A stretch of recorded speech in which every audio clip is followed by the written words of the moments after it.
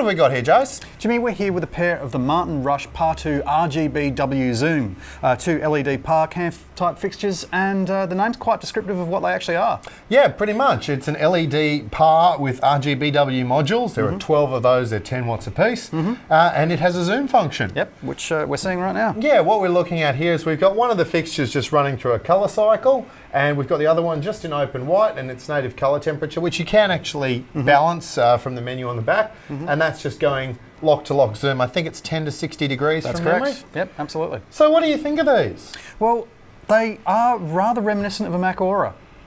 Yeah, yeah, you're looking at the lens as well and thinking Yeah, bit. a, an Aura lens. Which I think you know maybe uh, ends up being reflected in the price. They're a little bit pricier than the so the rest of the Rush range designed to be affordable Hmm. uh, for the club market. These are coming out a little on the high side, but you know you do get a pretty good fixture for your money. Yeah, look, I, I do like that they they they really do feel nice and solid. You Mm. know, there's there's dual points for safety wire attachments.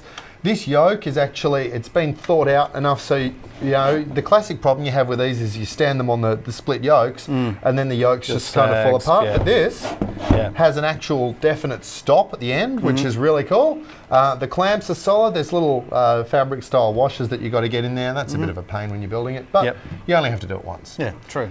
Um, look, there, there's a, a little uh, set of filter holders, so you could, if you wanted to, stick some diffusion or something in there. Mm-hmm. And um, look, for my money, I think they're they're nice little fixture, reasonable output, um, a little bit of noise. Yeah, a little bit, but that's not going to be a problem in the club environment, which was Exactly. determined to go into. Exactly. Look, this for, for where it's designed to end up, I think I think they right on the money. Yep, absolutely. Rush in.